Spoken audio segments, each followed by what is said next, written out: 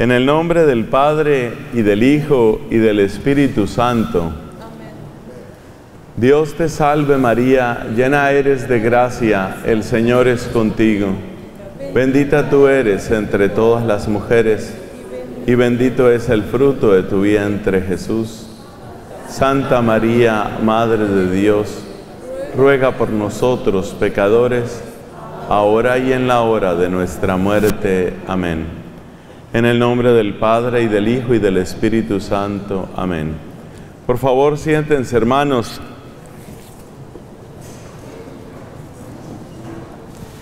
Hay algo que nos llama la atención en los santos evangelios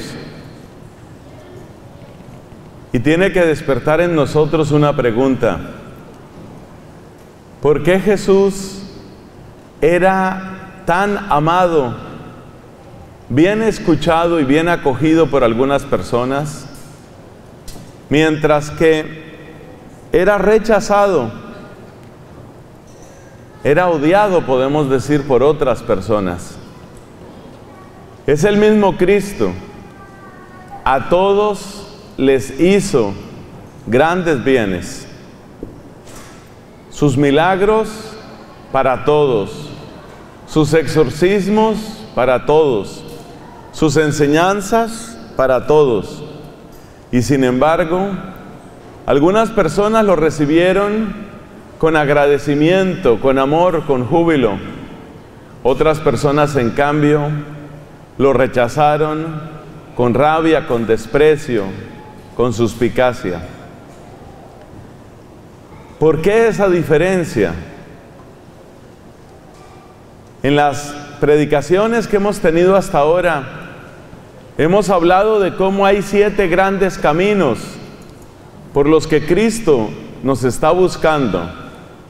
Cristo sale a nuestro encuentro a través de muchos caminos.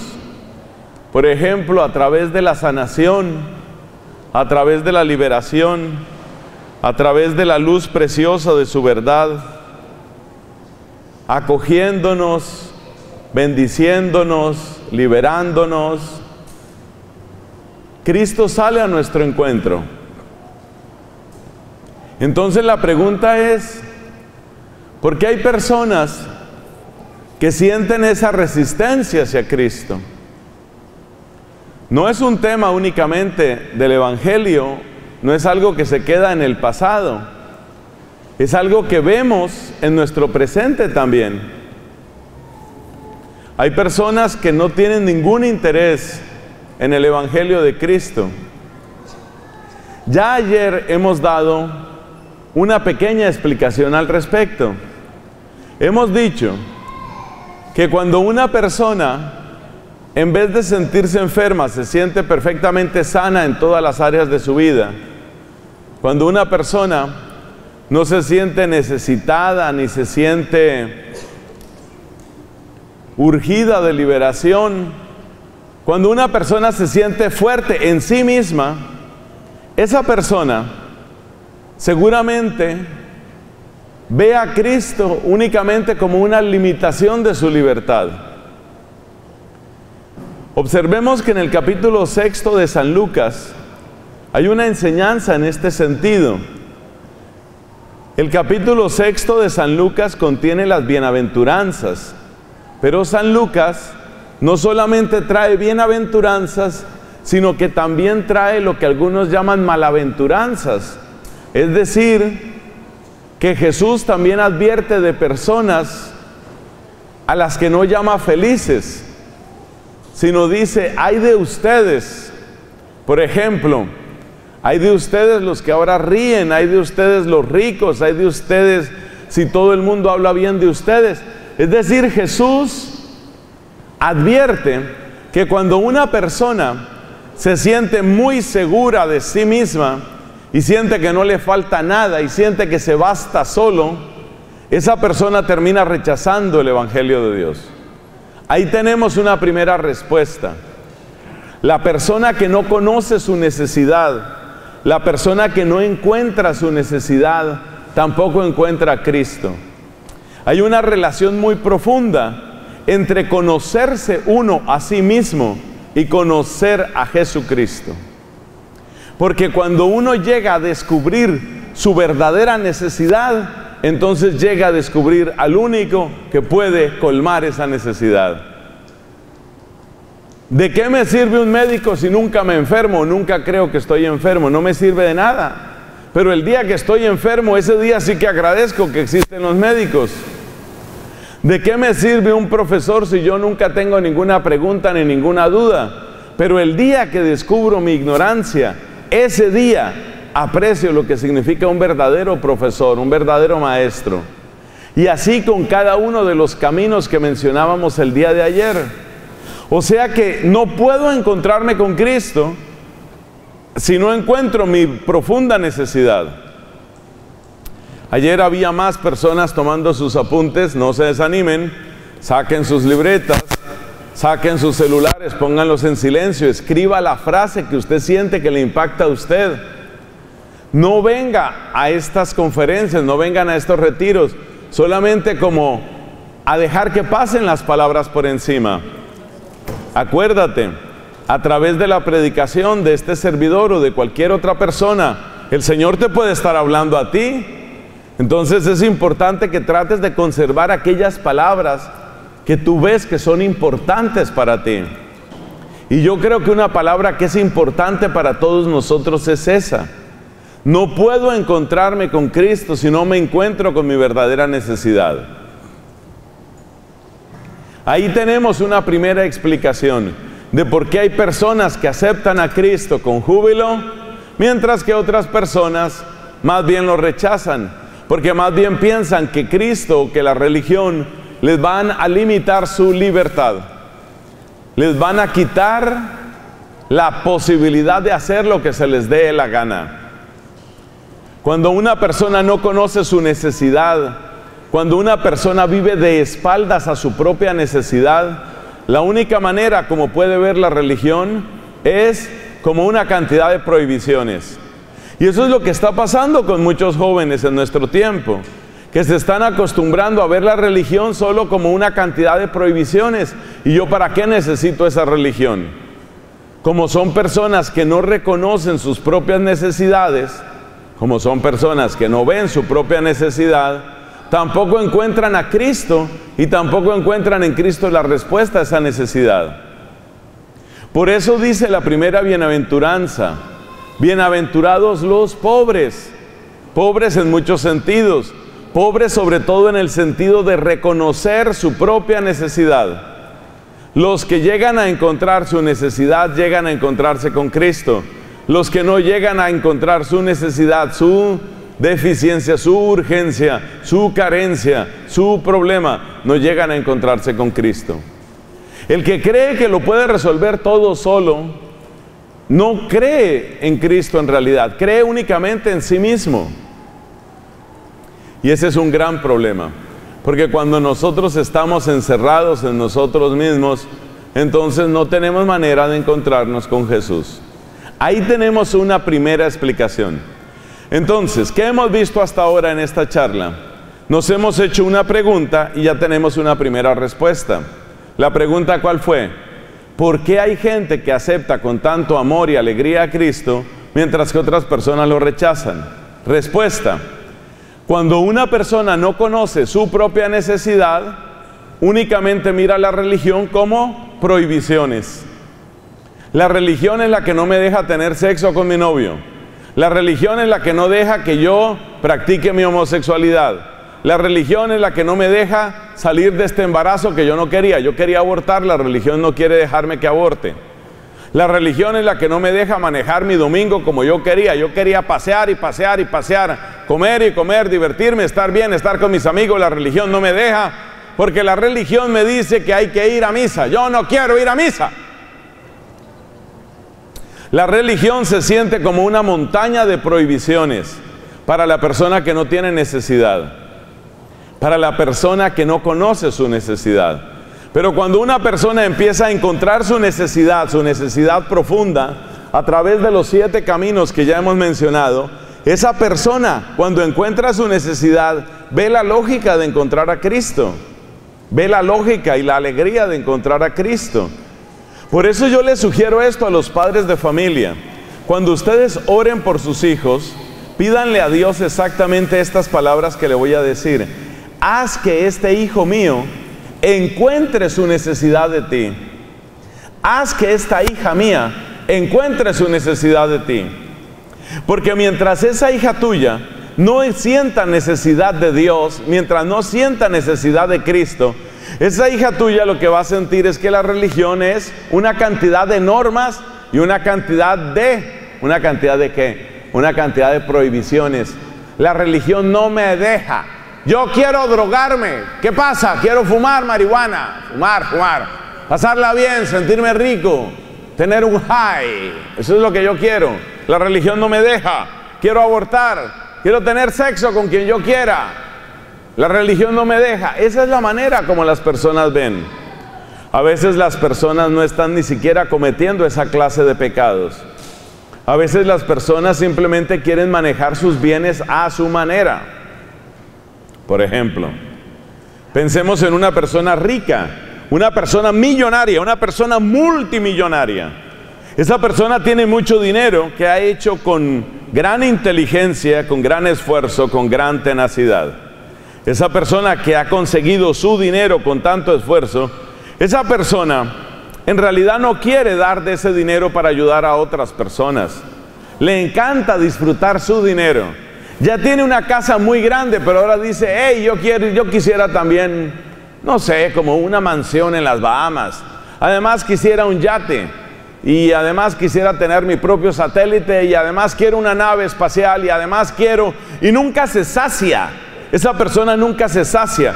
Y si tú le hablas a esa persona que Dios quiere que nosotros compartamos nuestros bienes con los más necesitados, entonces esa persona se siente mal de ese Dios. Yo no quiero ese Dios que me pone tantas trabas, ese Dios que me dice que tengo que compartir, ese Dios que me dice que tengo que, yo no quiero un Dios que me mande, yo quiero mandarme solo, yo quiero hacer lo que yo quiera. ¿Te das cuenta? Por eso, cuando ustedes vayan a orar por un amigo que está lejos de Dios, lo que ustedes tienen que decirle a Dios es, Señor, que este amigo encuentre su hambre, que encuentre su problema, que encuentre su ceguera, que encuentre su necesidad. Recuerden lo que vimos ayer en el Evangelio de San Juan capítulo 9. ¿Qué dijo Jesús a los fariseos? Si ustedes reconocieran su ceguera no tendrían pecado, pero como creen que ven, como ustedes están convencidos de que ven y que ven perfectamente, por eso el pecado permanece en ustedes. Esas palabras son de Jesucristo, capítulo noveno del Evangelio según San Juan. Ahí tenemos una explicación muy importante. Por última vez te lo digo, estamos resolviendo una pregunta y hemos encontrado una respuesta. La pregunta cuál es? ¿Por qué hay gente que sí acepta, hay gente que no acepta? Respuesta, porque las personas que no conocen su necesidad son personas que sienten que la religión es un estorbo. Son personas que sienten que la religión es una montaña, una bola de prohibiciones. Yo no quiero que me prohíban nada. Nada, nada. Si yo quiero comer y reventarme comiendo, déjenme. Si yo quiero drogarme, déjenme. Quiero tener sexo, todo el sexo que yo quiera, con quien yo quiera. Déjenme. Esa persona no quiere, no quiere que nadie le prohíba. Y lo único que ve en la religión es prohibiciones y prohibiciones y prohibiciones. Yo no quiero que nadie me diga cómo tengo que ganar mi dinero ni cómo tengo que gastar mi dinero. Mi dinero es mi, mi dinero. Me costó mucho trabajo conseguir mi dinero. Ahora yo quiero gastarme ese dinero en lo que yo quiera. Yo quiero tener la alberca, como dicen en México, la piscina, como dicen en otras partes. Yo quiero tener la alberca más profunda del país. Listo. Quiero tener una alberca de 80 metros de profundidad porque me gusta bucear. ¿Cuál es el problema? Hermano, hacer una alberca de 80 metros de profundidad te vale millones de dólares. Es mi dinero, es lo que yo quiero hacer. ¿Quién me lo puede prohibir? Pero hay muchas personas que están pasando hambre no, es mi problema, yo no tengo hambre. ¿Te das cuenta? Esa persona que no conoce su necesidad, esa persona que no conoce su pregunta, su indigencia, su carencia, no conoce a Dios. Y cuando la persona no conoce a Dios, siente que Dios es su estorbo. Dios le estorba. Bien, hemos llegado a una explicación interesante. Ya tenemos una pregunta y tenemos también una respuesta. Pero ¿será que esa respuesta es toda la respuesta? Ah, mis amigos, si nosotros vamos a los santos evangelios, nos damos cuenta que lo que hemos encontrado es muy interesante, pero todavía no es toda la respuesta.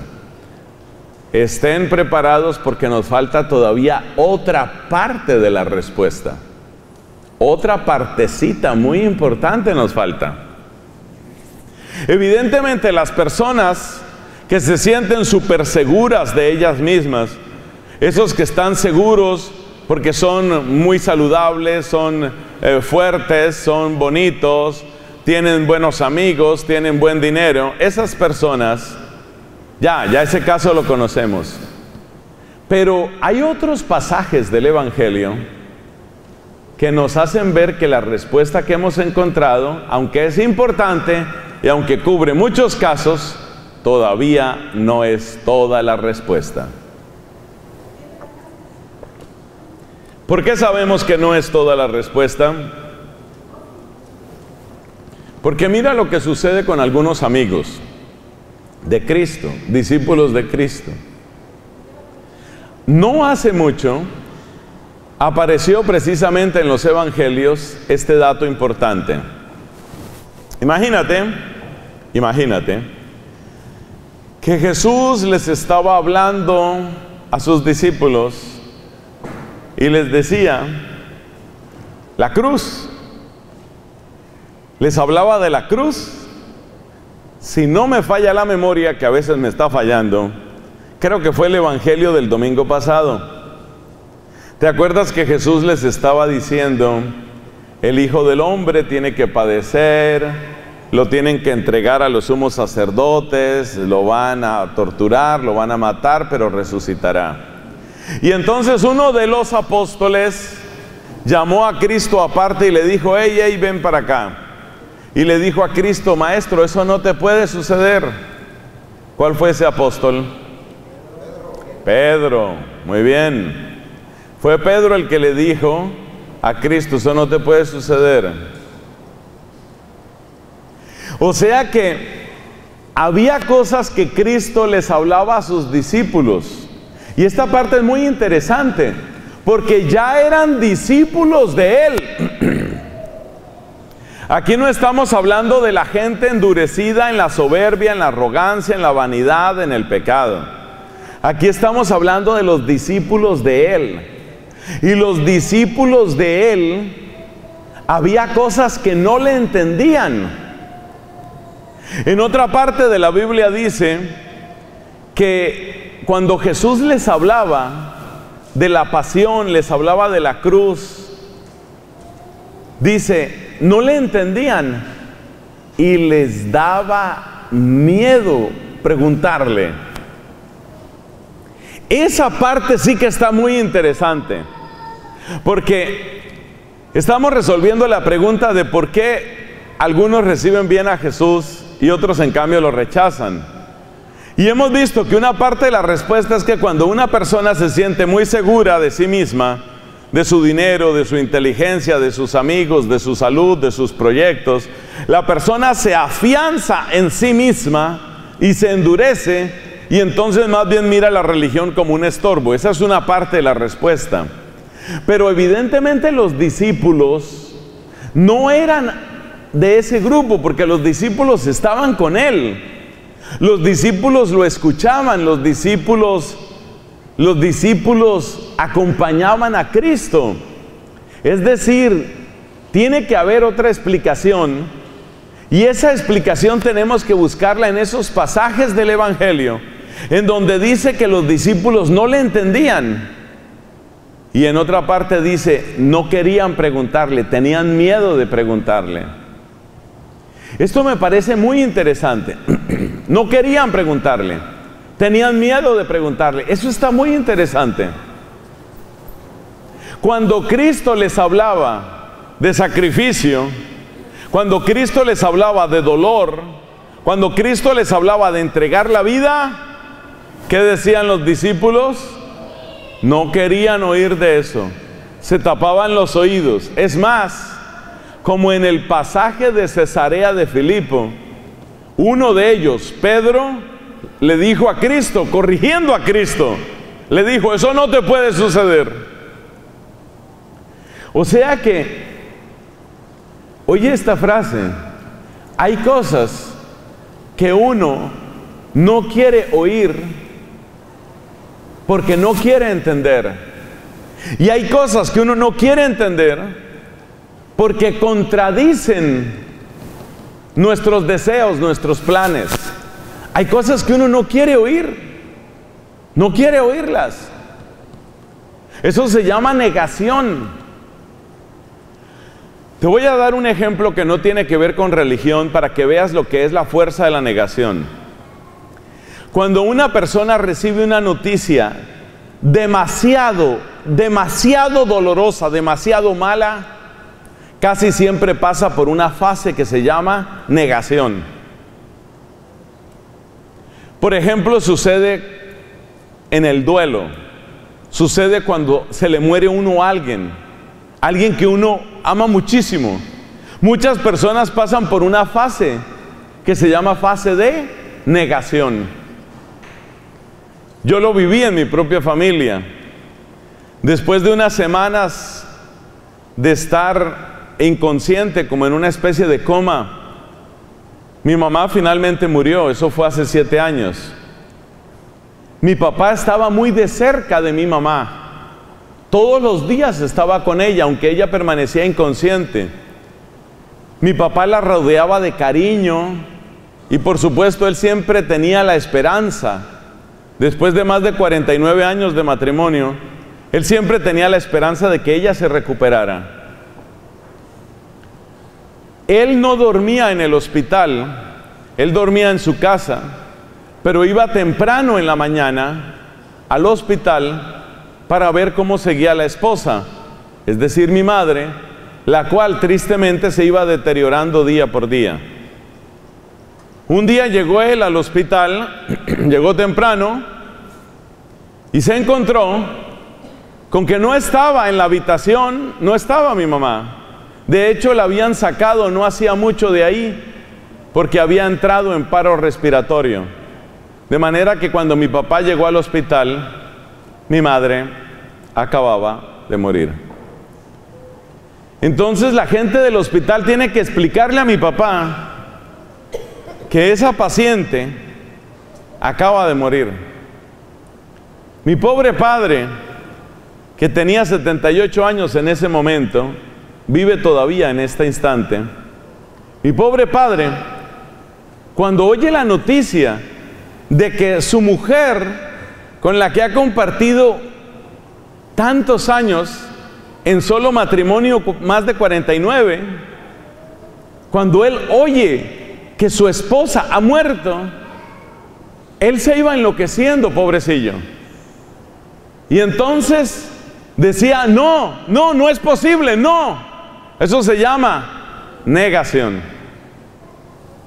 Las cosas que contradicen de una manera tan fuerte lo que uno quiere, lo que uno busca, lo que uno ama, esas cosas uno las niega si uno se ve en contradicción.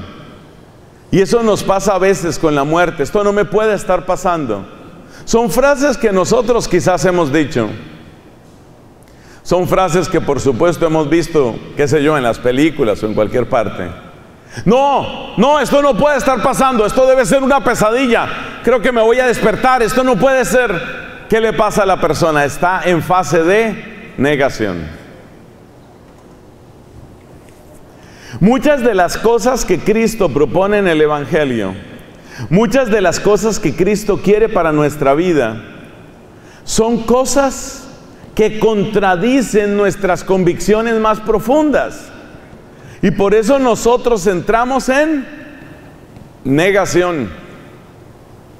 Por eso es bueno que escribas en tus apuntes la siguiente frase, para que nos demos cuenta porque a veces rechazamos el Evangelio.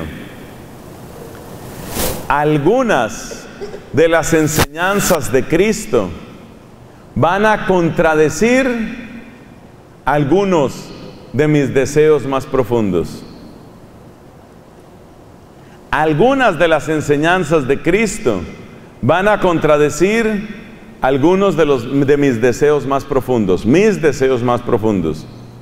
Por ejemplo, un deseo muy humano, un deseo que tenemos muchas personas, es el de pagar con la misma moneda. Algunos de nosotros queremos pagar con la misma moneda. Es decir, si me hicieron algo malo, pues yo me voy a desquitar. Me pegaste, espérate, acomodo este puño en esa cara. Eso se llama pagar con la misma moneda. Me voy a desquitar. Me robaron, espere, yo les voy a robar a ellos. Se llama la ley del talión. Ojo por ojo, diente por diente. Es algo que está profundamente metido en el ser humano. Dentro de muchos de nosotros existe esa idea de que hay que pagar con la misma moneda. ¿Yo por qué le voy a hacer el bien a una persona que me hace el mal? ¿Por qué? Nada. Si me hizo mal, pues se las va a ver conmigo. ¿Eso cómo se llama? Pagar con la misma moneda. Y muchos de nosotros tenemos ese impulso de pagar con la misma moneda.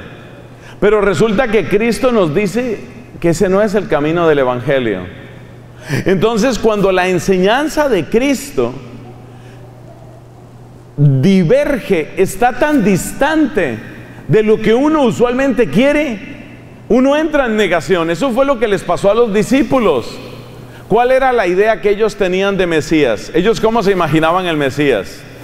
Ah, ellos se imaginaban un rey victorioso, uno que aplasta a todos sus enemigos uno que logra todas las victorias. ¿Y cuál era el gran enemigo político en aquella época? Los romanos, el imperio romano. Entonces, ¿cómo se imaginaban los apóstoles, cómo se imaginaban la victoria del Mesías? Ellos se la imaginaban como una victoria política y sobre todo militar. Oh, el glorioso Mesías que lucha contra los romanos y aplasta a los romanos y los saca de una patadota esos desgraciados romanos paganos, incircuncisos, idólatras. Que se larguen de aquí, que se vayan, que dejen de cobrar sus impuestos, que dejen de robarnos. Detestaban a los romanos por todas partes y con todas las razones. Los detestaban por extranjeros, por opresores, por explotadores, por idólatras. Por todo detestaban a los romanos. ¿Y qué era lo que ellos imaginaban? Ellos se imaginaban un Mesías glorioso, un Mesías potente. Ese Mesías que iba a destruir el poder de los romanos. Ese es el Mesías que queremos. Pero Jesús obraba de otra manera. Imagínate que una vez iban caminando y se acerca por ahí un mensajero de un centurión romano y le dice, tengo en casa un criado que sufre mucho. Eso le dice un romano. Romano, ¿qué significa? Violento, extranjero, opresor, explotador, idólatra, pagano. Para resumirlo en una palabra, un desgraciado. Ese es el romano. Y el romano le dice a Cristo, tengo en casa un siervo, uno de mis criados está sufriendo mucho. Es un romano. A ver, es un romano. ¿Qué hay que hacerles a los romanos? que se larguen, ojalá se les enfermen todos, ojalá se les mueran todos sus criados, ojalá, ojalá se vayan hasta el infierno. Eso era lo que sentían muchos judíos. Entonces este centurión le manda a decir a Cristo, tengo en casa un criado que sufre mucho. ¿Y qué hace Cristo? Oiga la respuesta de Cristo. Dice en voz alta, voy yo a curarlo. Le queda zumbando los oídos a esos judíos. ¿Que vas a qué? Que voy a curarlo. Vas a curar al criado de tu enemigo, de tu opresor. ¿Vas a curarlo? ¿Vas a sanar a los que nos hacen daño? ¿Vas a sanar a los incircuncisos, paganos, idólatras, opresores, desgraciados? ¿Vas a sanarlos? Si te das cuenta todo lo que Cristo contradice, eso no es lo que yo pensaría, eso no es lo que yo quisiera. Eso no puede ser el Evangelio. Hay personas que han estudiado la traición de Judas Iscariote y muchos autores coinciden en decir lo siguiente. Judas Iscariote se decepcionó de Cristo. ¿Por qué se decepcionó? Porque Judas Iscariote, según todas las indicaciones, pertenecía al grupo de aquellos judíos que querían sacar de una patada a los romanos. Y Jesús empieza con esas muestras de misericordia, que voy a sanar a un romano, que voy a sanar a un romano. ¿Cómo se te ocurre que lo vas a sanar? ¿A quién se le ocurre sanar al enemigo? ¿A quién se le ocurre, por Dios? Judas Iscariote no pudo con su decepción. Te voy a dar otro ejemplo. En el mundo del Medio Oriente, los hombres y las mujeres no se tratan en público. Una mujer puede ir acompañada o por su papá o por su esposo. Punto. O la mujer va sola o la mujer va con amigas. Pero una mujer no anda con nadie en la calle, con nadie, si no es el esposo con ningún hombre quiero decir, no anda con ningún hombre que no sea el esposo o el papá, nadie más.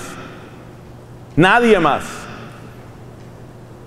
Una mujer en la mentalidad oriental, eso sigue todavía en los países árabes. Una mujer que en la calle habla con un hombre que no es su esposo o que no es su papá, es una mujer pública es tratada como si fuera una prostituta. Y realmente así son o así eran las prostitutas en la época de Cristo. ¿Y qué pasó? Resulta que un hombre llamado Simón, Simón el fariseo, ofrece una comida, invita a Cristo, Cristo está en la casa de Simón y entra a la casa una mujer que no ha sido invitada.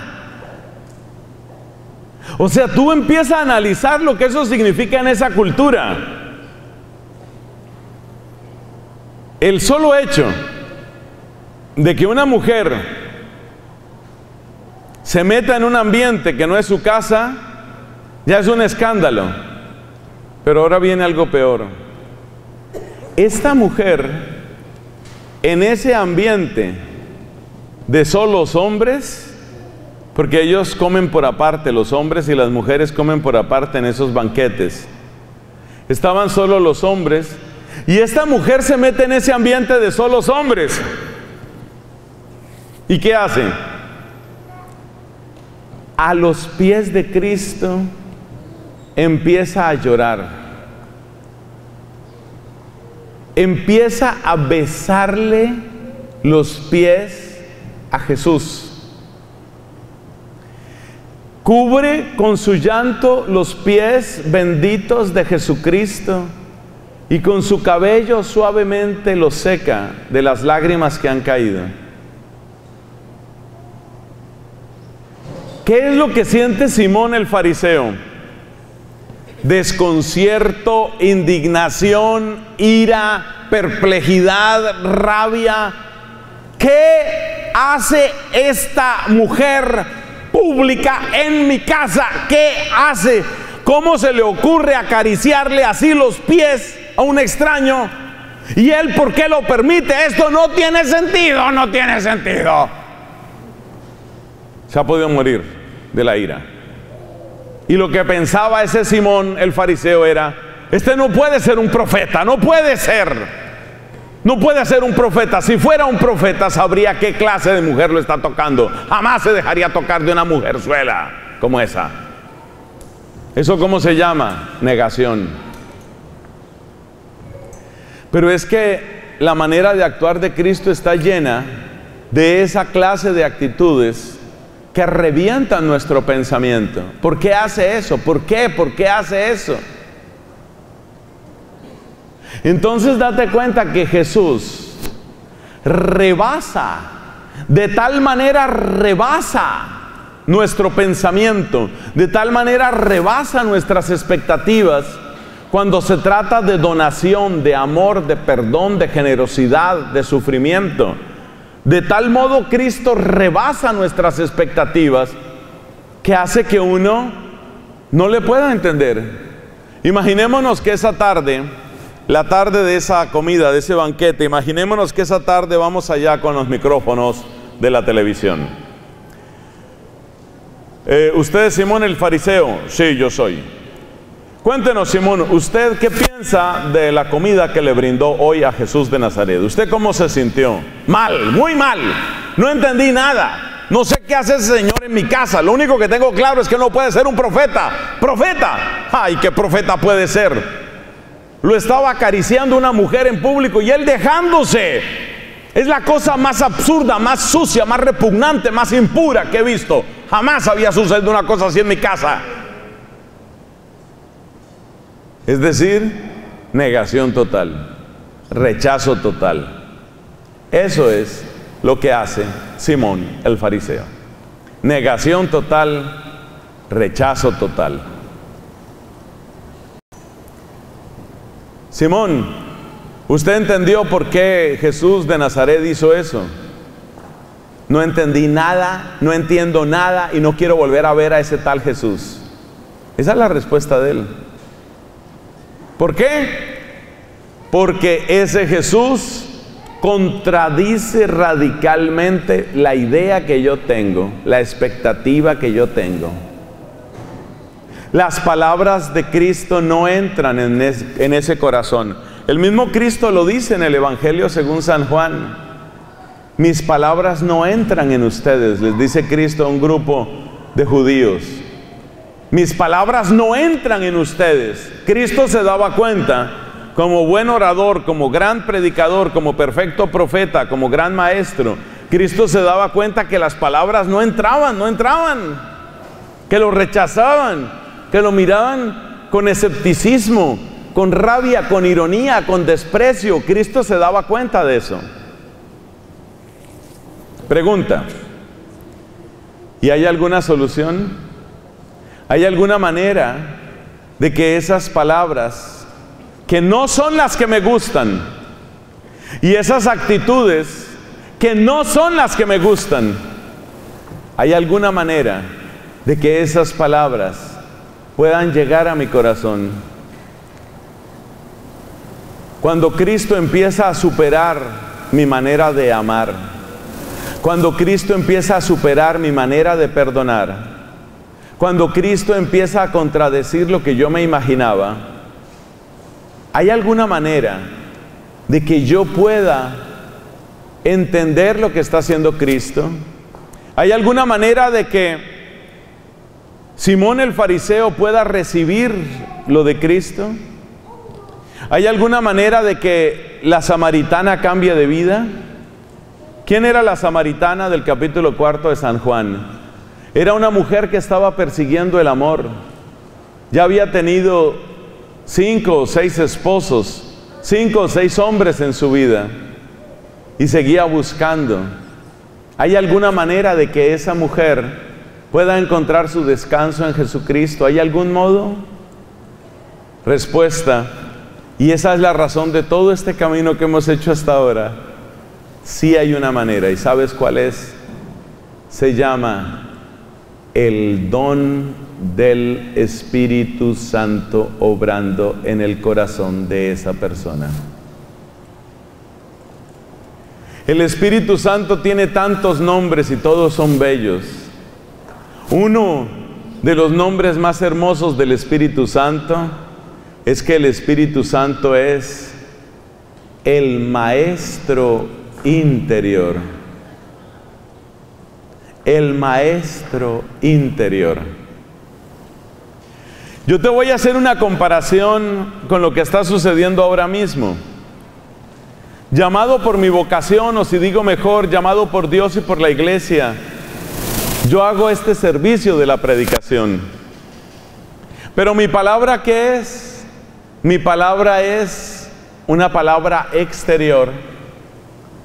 A través del aire, a través de las ondas del sonido, mis palabras llegan a tu tímpano, llegan a tus oídos, a través de los nervios, nervio auditivo, llegan a tu cerebro. Yo puedo llegar hasta tu cerebro, pero solo Dios conoce el secreto de tu corazón. Entonces, ¿qué es lo que hace el Espíritu Santo? Esto es bellísimo.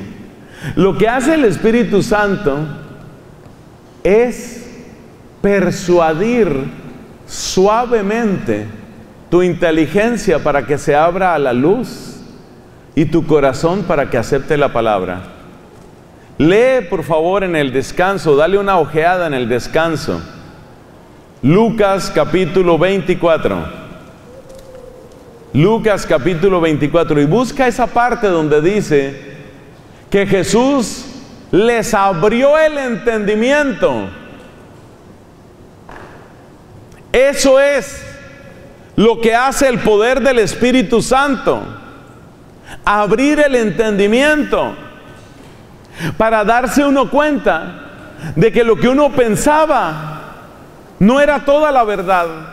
Para darse uno cuenta, mis hermanos, para darse uno cuenta de que en la novedad infinita de Jesucristo está la verdad que le hacía falta a mi vida. Yo pensaba otra cosa, pero es el Espíritu el que me da la inteligencia interior, la inteligencia del corazón para comprender la verdad de la escritura. Eso es lo que sucede en Lucas capítulo 24. Así es como yo logro descubrir lo que Dios quiere decirme. Por eso yo pedí que antes de esta predicación hiciéramos esa invocación al Espíritu Santo porque es que solamente el Espíritu Santo, mis hermanos, es el que nos puede dar esa inteligencia que trasciende la lógica de este mundo. La lógica de este mundo, por ejemplo, es la ley del talión. Ah, tú me la hiciste, ¿cierto? Ahora me la pagas. La lógica de este mundo es pagar con la misma moneda. Ser amable con el que es amable conmigo. Ser amable con aquel que me sirve para algo ser amable con aquel al que yo puedo seducir o explotar. Esa es la lógica de este mundo. Pero ser amable con los más pobres, ser amable con los que son inútiles a los ojos de este mundo, ser amable con los que no agradecen, orar por los que nos persiguen, sanar al criado del centurión a quien se le ocurre, no tiene sentido. Pero si llega el auxilio del Espíritu Santo, el Espíritu Santo es como tener un maestro en tu corazón. El Espíritu Santo te va dando esa percepción, te va dando esa luz. Y tú dices, es verdad. El Espíritu Santo hace tantas cosas por nosotros, tantas, tantas. Pero en este momento quiero que nos concentremos en esa. Te da la inteligencia, el entendimiento para que tú digas, lo que me están diciendo es verdad. Esa es la verdad, eso es verdad, eso es cierto. Aunque contradice lo que yo pensaba, eso es cierto. Entonces el Espíritu Santo que te da, te da esa luz profunda para que tú descubras la verdad donde no creías que estaba. Tú no pensabas que hubiera verdad, tú no pensabas que hubiera verdad en el perdón de los enemigos, en el rezar por los que nos persiguen. Tú no pensabas que pudiera haber verdad en lo que dice Cristo. Ve, vende todo lo que tienes, dalo a los pobres, luego ven y sígueme. No, eso suena loco, eso suena tonto. Que yo voy a dar a los pobres todo lo mío. ¿Qué pasa? ¿Qué pasa contigo? Llevo toda una vida trabajando y ahora quieres que yo dé a los pobres y que me vaya de misionero a África. ¿Qué estás pensando tú? Eso es loco, no me interesa. Pero resulta que llega el Espíritu Santo y el Espíritu Santo es como el susurro de la verdad de Dios en tus oídos. El Espíritu Santo es como el susurro de la verdad de Dios en tus oídos. Y el Espíritu Santo es el que te convence interiormente. Te da una luz nueva en el entendimiento. Te hace ver esto es cierto, esto es verdad, te da convicción. El Espíritu Santo te da esa convicción desde el primero de todos los dones, que es el don de la fe. El Espíritu Santo hace que tú puedas descubrir la verdad de la fe. No se puede tener fe si no es un regalo que viene del Espíritu. Ese Espíritu Santo llega a ti y te convence de que hay una verdad ahí. Ayer con los hermanos y con las hermanas que estuvieron aquí presentes, hicimos un rato de adoración. Hicimos adoración a la Eucaristía. Dime una cosa, la persona que no tiene fe y que mira a un grupo de hombres, primero fuimos los hombres a hacer la adoración, después fueron las mujeres, Imaginémonos a alguien que no tiene fe, nuestra fe cristiana. Pensemos en un ateo, un budista, un musulmán. Esas personas, una persona de esas o varias de esas, ¿te ven a ti o a ti o a ti? Te ven arrodillado delante de una custodia que tiene una hostia. Incluso muchos protestantes te ven así. ¿Y qué dicen? ¿Qué dicen ellos cuando te ven así? A ver, ¿qué van a decir? Idólatra, ¿qué más te van a decir? ¿Ah? A ver, hablen, ¿qué más te van a decir? Si te ven así arrodillado delante de un pedazo ahí de pan, ¿qué te van a decir? Que estamos locos. ¿Qué haces tú en eso? Oye, ¿qué te pasa? O sea, tú te arrodillas delante de ese pedazo de oblea, ese pedazo de pan, ahí tú te arrodillas. Y si yo quiero tirar al suelo esa custodia y pisar esa hostia, ¿tú peleas conmigo? Claro que peleo contigo. O sea que tú te haces matar. Si yo quiero tocar ese pedazo de pan, sí, me hago matar. Hay mártires de la Eucaristía, por supuesto. Hay muchos mártires de la Eucaristía. O sea, tú prefieres cuidar el pedazo de pan ese que cuidar tu vida. Sí. ¿Y te haces matar por ese pedazo de pan? Sí, porque no es un pedazo de pan, es el cuerpo de Cristo. ¿Tú te haces matar por ese pedazo de pan? ¿Me estás diciendo, te pregunto por última vez? Sí, y no es pan. Mira, eres un tonto, eres un loco, es absurdo, te han lavado el cerebro Deja esa religión estúpida. Deja de pensar en eso. No pierdas más tu tiempo. Vete a disfrutar la vida. Eso es lo que te va a decir el ateo. Eso es lo que te va a decir el que no tiene fe. Y sin embargo, los que hemos recibido el don precioso de la fe, incluyendo por supuesto la fe eucarística, sabemos bien qué es lo que está sucediendo. Y cada vez cada vez que nos arrodillamos con humildad y cada vez que con humildad contemplamos la maravilla de ese milagro permanente que es la Eucaristía, ¿qué sucede en nosotros? Gozo, paz, sanación, amor, alabanza, intercesión. ¿Quién es el que te dice al oído? ¿Quién es el que te susurra al oído? Es verdad, es verdad. ¿Quién? El Espíritu Santo. Entonces, el Espíritu Santo es el maestro interior. Es el Espíritu el que te dice la verdad de eso. Esto vale para la Eucaristía, esto vale para muchas cosas. Piensa, por ejemplo, en el tema de la pureza. La pureza es algo que le parece a la gente hoy tan absurdo como la Eucaristía. La gente se me burla en la cara, muchas personas se me burlan en la cara. Cuando me preguntan, oiga padre, ¿usted cree que los jóvenes deberían llegar vírgenes al matrimonio? Claro. Yo creo lo que dice la palabra de Dios. La palabra de Dios dice que el cuerpo no es para la fornicación. El cuerpo no es para fornicar. No. El sexo tiene su lugar en el matrimonio. Padre, ¿en qué siglo vive usted, padre?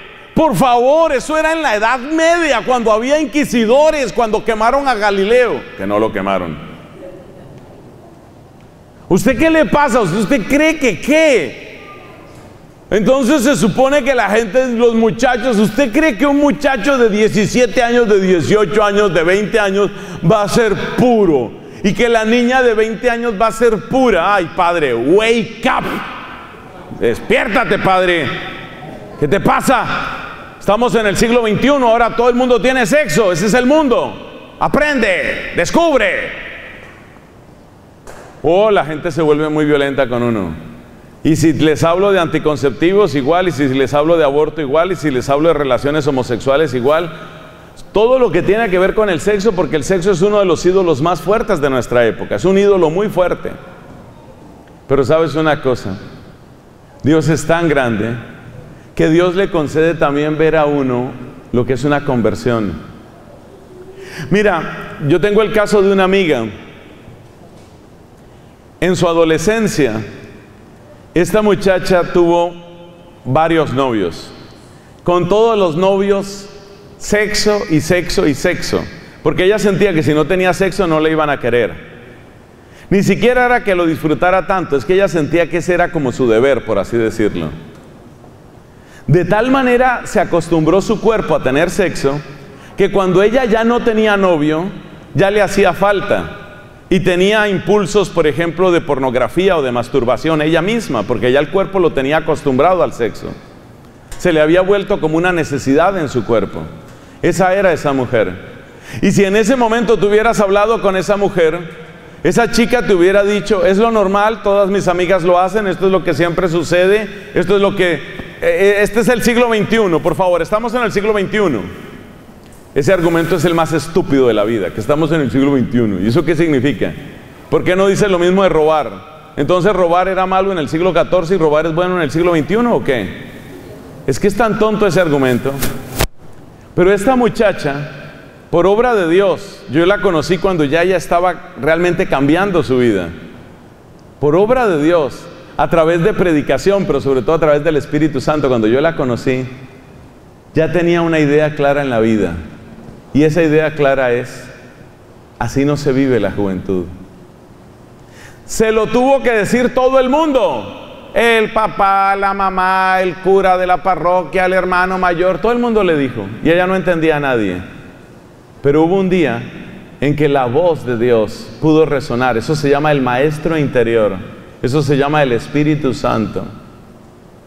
El Espíritu Santo de Dios. El maestro interior y ella se dio cuenta que la estaban usando. Eso fue lo primero que se dio cuenta, que la estaban usando. Porque resulta que cada uno de esos novios, cuando acababa la relación, era, bueno, perfecto, tú por tu lado, yo por mi lado. Y entonces ella necesariamente tenía que hacer un balance. Y entonces, ¿qué hice? Sobre todo por una cosa que le sucedió. Porque un novio que ella tuvo, con el que tuvo más sexo, eso era una cosa desaforada, según cuenta ella misma, era una cosa enfermiza, sexo y sexo, pero así, como enfermos con ese asunto. Uno de esos novios, cuando ya la dejó porque no nos entendemos, no nos entendemos significa ya te exprimí, ya te saqué todo el jugo, ya me aproveché de ti, ahora sigo con la otra. Cuando ella se encontró a ese mismo muchacho, con otra chica que además era amiga de ella, cuando lo vio caminando con ella, cuando lo vio, lo vio al exnovio hablándole al oído a la nueva novia, lo único que pudo pensar es, ahora le estará diciendo las mismas cosas que me decía a mí. Y allá van los dos para la cama. Allá van los dos para la cama. Entonces, ¿qué tipo de payasa estúpida soy yo? Y ahí empezó a cambiar. Entonces, Dios tiene su hora para las personas. Dios tiene su hora para las personas. Yo tengo, yo les podría dar el enlace del testimonio de una mujer que abortó nueve veces. Nueve. Pero en el noveno aborto, en el noveno aborto, cuando estaban terminando el aborto, el pedazo de bebé ensangrentado, que tenía unas semanas, lo tenían sobre una especie de bandejita de metal. Cuando ella vio ese pedazo de ser humano destrozado, envuelto en sangre, con el rostro arrugado, entonces ella le preguntó a la enfermera, ¿qué van a hacer con él? Con él, con él, dijo, no dijo con eso, dijo con él, ¿qué van a hacer con él? Y la enfermera dijo, bueno, pues desechos humanos, eso significa la caneca. Y esta mujer que llevaba nueve abortos, nueve abortos, esta mujer ahí sí despertó y dijo, no le hagan eso a mi hijo, mi hijo. Y empezó a enloquecerse. Tuvieron que sacarla con la policía de esa fábrica de muertos que se llama Planned Parenthood. La fábrica de muertos, la empresa más grande de asesinatos en Estados Unidos se llama Planned Parenthood. Para que todos lo sepan, sobre todo las chicas. Planned Parenthood, ese es el nombre de la empresa de asesinatos. Es una máquina de asesinatos que además tiene filiales en otros países. Bueno, esta mujer despertó ahí, tuvieron que sacarla con la policía. Despertó quiere decir se dio cuenta de lo que estaba haciendo. Entonces, ¿qué es lo que hace el Espíritu Santo? El Espíritu Santo hace que tú puedas recibir una voz que antes no recibías. Esto vale para las cosas bellas como la Eucaristía, o esto vale para las cosas feas, como lo que le sucedió a esa amiga que yo tengo. Para mí lo más lindo de esa amiguita, yo la quiero tanto porque yo lo que siento es que ella fue usada. A ella la usaron muchos hombres. O sea, en realidad ella fue violada, solo que fue violada por las buenas. No fue violada con fuerza, pero fue violada por las buenas. Yo quiero mucho a esa chica. La quiero mucho y quiero lo mejor para ella. Y de hecho esa mujer en este momento está considerando la posibilidad de consagrarse a Dios. Es increíble lo que el Espíritu Santo puede hacer. Entonces, hermanos, es importante darse cuenta de lo que hace el Espíritu. El Espíritu es el que le da a uno la convicción interior. Lo que no puede lograr ningún profesor, lo que no puede lograr ningún gobernante, ningún presidente, ningún magistrado, lo que no puede lograr ningún pastor, ningún predicador, ningún sacerdote, lo que no puede lograr nadie afuera de ti, lo puede el Espíritu Santo adentro de ti. Adentro de ti. Eso es lo que hace el Espíritu. Por eso dice hermosamente una oración del Espíritu Santo, tú nos das palabras y razones. Es tan bello el Espíritu Santo. Y aquí viene mi segundo consejo para los papás cuando oren por sus hijos. Ustedes recordarán, porque son gente que tiene buena memoria, que habíamos dado un primer consejo. El primer consejo, ¿cuál era? El primer consejo era,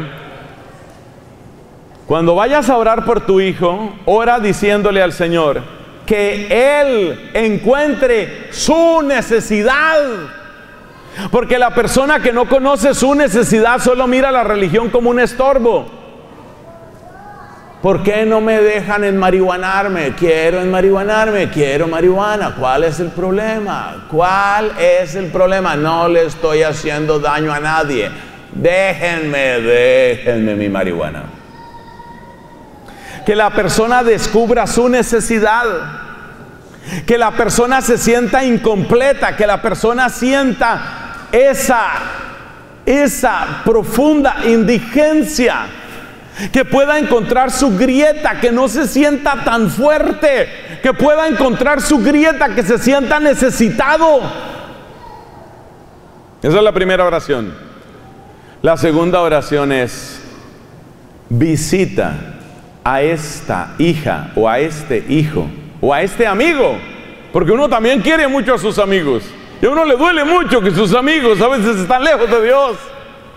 Visita a este amigo mío, visítalo con la fuerza de tu Espíritu Santo, Señor. Visítalo con tu espíritu. Hermanos, Jesús dice, Jesús dice en el Evangelio algo muy hermoso. Jesús dice, nadie puede venir a mí si el Padre no lo atrae. Nadie puede venir a mí si el Padre no lo atrae. ¿Y cómo nos atrae el Padre Celestial? Con el don del, del, del Espíritu Santo. Con el don del Espíritu Santo. El don del Espíritu Santo es el que te da la fascinación. Fascinación por la obra de Dios. Fascinación por Dios. Me acuerdo un muchacho que estaba en un ministerio de música y él una vez daba su testimonio y decía, yo he estado en misas carismáticas que duran más de dos horas. Y bueno, la gente se queda como esperando a ver qué más iba a decir. Y dice él, pero antes, si una misa se demoraba más de media hora, yo ya quería salir corriendo de esa iglesia. Ahora dice, ahora el Señor me ha dado amor y me ha dado alegría y no se me hace largo. Donde hay amor, donde hay amor. Pregúntale a una pareja de enamorados, ¿fuiste a visitar a tu novia? Sí. ¿A qué horas llegaste a la casa de ella? A las 3. ¿A qué horas te fuiste? A las 7. ¿Cuatro horas? ¿Qué hablas tú cuatro horas con esa chica? ¿Qué hay que hablar cuatro horas con esa muchacha? ¿Qué se hace en cuatro horas? A mí no me parecieron cuatro horas. Y perdona que no te hable más, es que quiero llamarla a ver cómo está. Donde hay amor, el tiempo desaparece. Donde hay amor el tiempo no importa. La gente que le lleva las cuentas a Dios, como la gente que dice, uy, ya esta predicación está larga. La gente que le lleva las cuentas a Dios. El Espíritu Santo toca tu inteligencia. El Espíritu Santo abre tu inteligencia y hace que tú digas, oye, eso es verdad y yo no lo había visto. Eso es verdad, yo no lo había visto. Y el Espíritu Santo sobre todo te da el amor. Este es apenas el comienzo de las maravillas del Espíritu Santo. Se llama el Maestro interior, el que te habla al corazón, el que abre tu corazón. Y cuando uno empieza a entender, uno dice, Dios Santo, de cuántas cosas me estaba perdiendo. Dios santo, de cuántas cosas me estaba perdiendo. Este es solo el comienzo, hermanos. Maestro interior, el Santo Espíritu que hace su obra en ti. Pongámonos de pies y digamos juntos, Gloria al Padre, al Hijo y al Espíritu Santo, como era en el principio, ahora y siempre por los siglos de los siglos.